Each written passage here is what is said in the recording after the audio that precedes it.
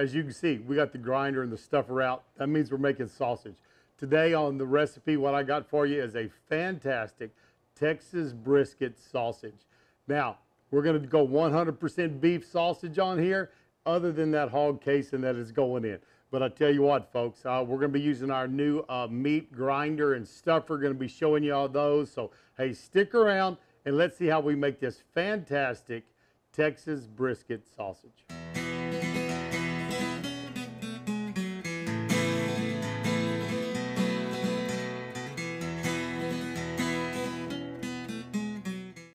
I am Chef Johnny, and this is Texas Style Cuisine. Appreciate you stopping by very, very much.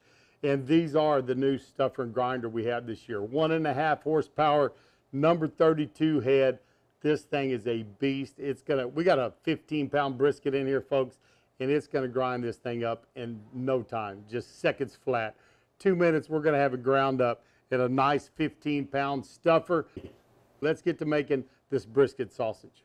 We're gonna start cutting up this brisket. And I tell you what, it's, it's closer to 16 pounds, 15.95. So we got about 16 pounds of uh, sausage we can make today. You want to be in that, really that 30% range, and this one's going to be a little bit leaner because a brisket usually isn't 30%. But as long as you're over 20, 25 to 30 is where I like to be. We got a nice knife kit here from, uh, hey, Mercer Knives. If you've never seen my knife videos, put a link below. You can see the knives I use and kind of talk about why I use them. And here's our brisket. So I'm going to take it and uh, let's just take it out of here. This is just a regular Packer brisket. It's not graded. Uh, if you were to get a choice or a prime, you are going to have more fat in there or raise that fat content. But uh, this one's fairly fat, so I, am betting you we're over 20%. But I'll pull it out of the package. If you wanted to, you could add a little uh, fat back to this. Fat back's great to put in on uh, sausage. The, the pork fat back doesn't have a lot of flavor to it. So by using it, what happens is, is uh, you don't change the flavor of the other meat you might be using. You know, a brisket's pretty, pretty fatty.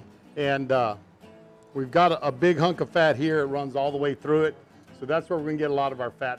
So all I'm gonna do is, I'm gonna take this brisket, come in here, and boy, I tell you what, it's good and cold. You always want your meat good and cold. And we are gonna sit this back into the, uh, the freezer. So I'll just cut this into strips, right? So we're gonna cut this into strips because it's gonna feed into the uh, uh, head of our, of our grinder. But come back, no sense of making it work too awful hard. So it's stripped, and this is a big big heavy grinder. If you have a smaller grinder, chunk it up or strip it up. Either way will work, but this one's gonna be fine for what we're doing. And see that fat line I was talking about? Plenty of fat on this brisket. And when I cut this on the angle, it just, it just slims that meat downwards. a little more of a strip.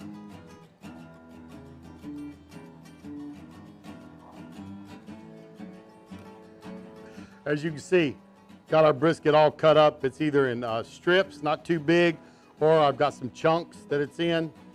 Those all go through this grinder fine. Remember, if you have a smaller grinder, smaller pieces don't overwork that motor. It's always better to have it too small than too big. Guarantee you that. Don't want to burn anything up. But this brisket's ready to go. Got almost 16 pounds. If I was going to do anything here, might add a little fat to it. You could add some fat back. You could add bacon. Some people like to add bacon. I don't mind. Gives me good flavor.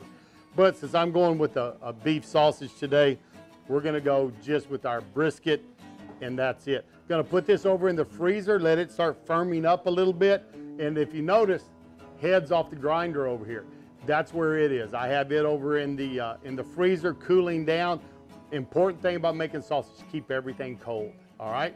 So we're gonna have a pan of ice. Our meat's gonna drop into a pan of ice. This is gonna be firmed up because it's very cold and our head that's gonna be grinding it up, that's gonna be there also. So hey, let's get this in there and uh, here in a few minutes we'll show you how we get out the uh, grinding head, put it on and get to grinding this meat.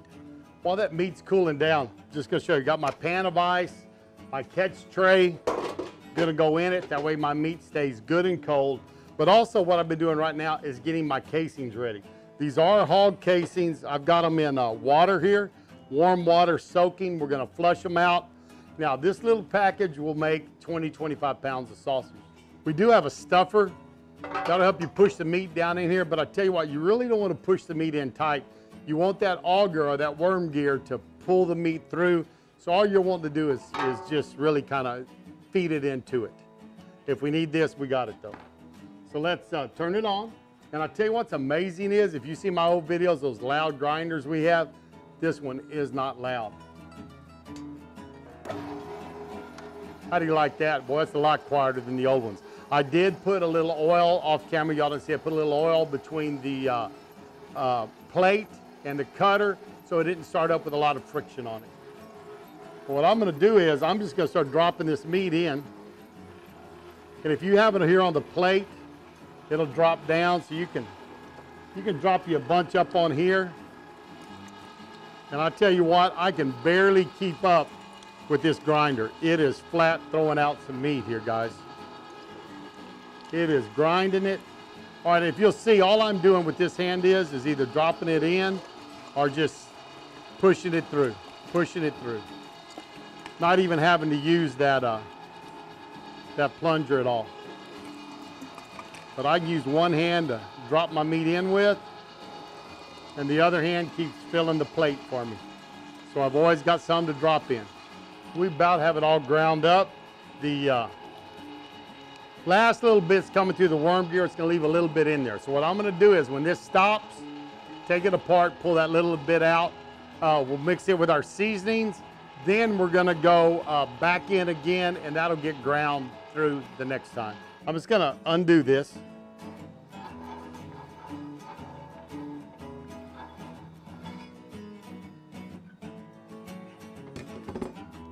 Pull out our worm gear just a little bit. And see that meat I was telling you about that didn't come through?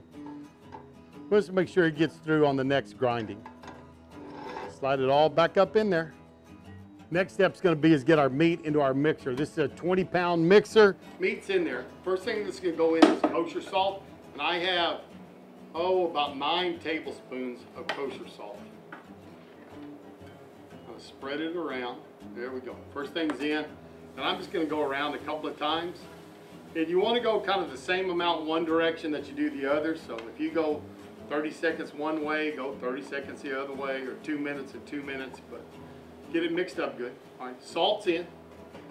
Next thing I'm gonna come in and I have five tablespoons of ground pepper. I don't like it too fine of a grind. I found out, you know, the pepper you can buy at uh, at Sam's is what they call a table grind, and it really works good for me. I like it. Seems to work real well. But you can see it's going to take a little bit to get that pepper uh, mixed all the way through. Next ingredient though is uh, three tablespoons of granulated garlic. Mix it in a little bit. This is fairly easy. If it's uh, if it's hard to turn, you can go ahead and add in some of your uh, water at this time. Last thing I'm going to go in with is I want to make this a little garlicky, right? So I had my base blends in there. So I'm going to add in just this uh, minced garlic, and it's probably, oh, about a half a cup. Get all of it in there. Because I want to have a nice garlic flavor to this brisket sausage we're making today deviating from the Texas style brisket a little bit of having so much garlic, but I think it adds great flavor to this sausage. We're gonna get started. We've already got some protein extrusion going on, so it's already starting to get a little bit sticky. Probably have to use our plunger this time to just help get it down in there, but we're gonna turn it on and uh, see if we can get this sausage ground up the second time through.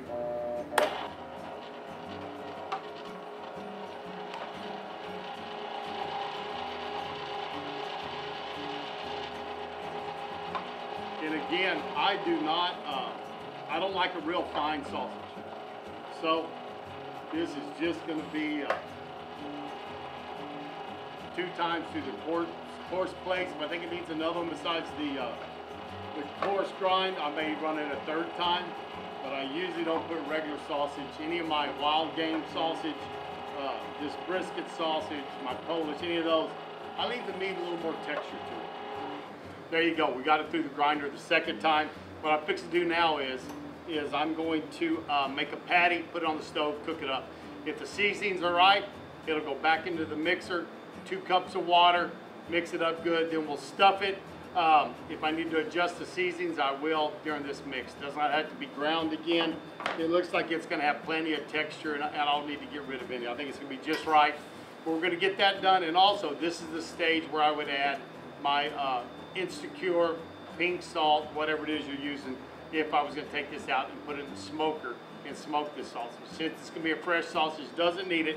So let me cook up that patty, then we'll get back with you and let you know what we think about it. Got them off the stove, tasted great. Season doesn't need anything, texture's fine.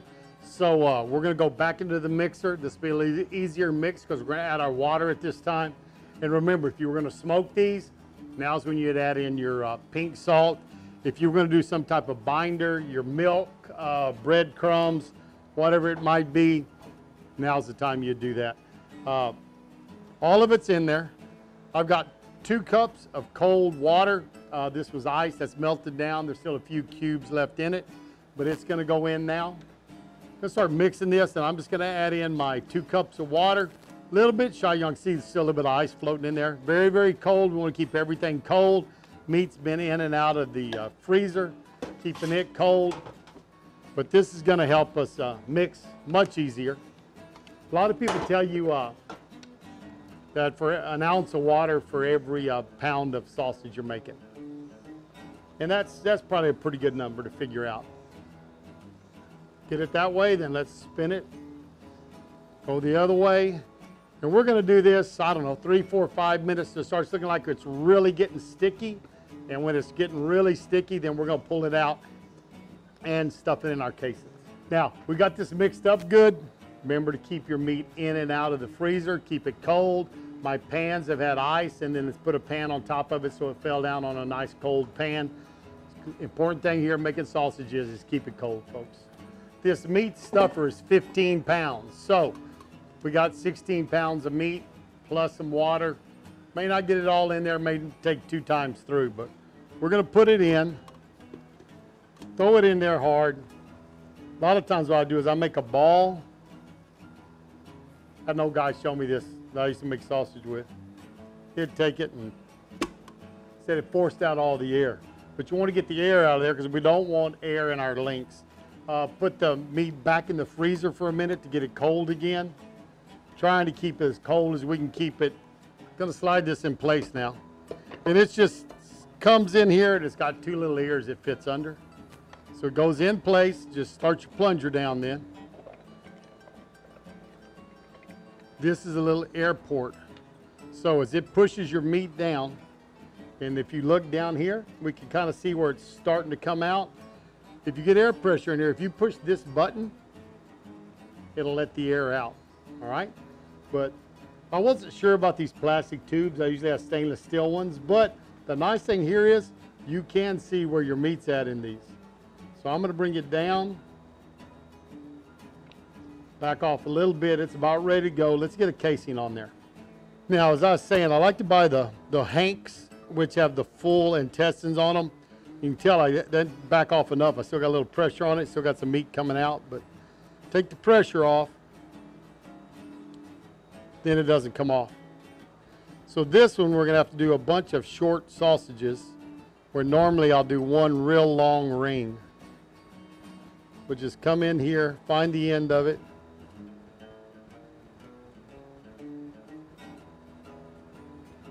Getting close to the end now, I'm gonna take it. And so these, some of these are slippery and knots will come out. So usually what I do is I just pull a loop in it, put the tag in back through the loop, and it's good. Slide it the rest of the way on.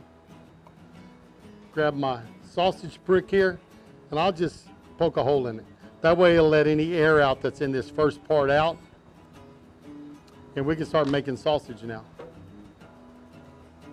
Crank it down. You want a slow, steady speed. You don't want to go too fast.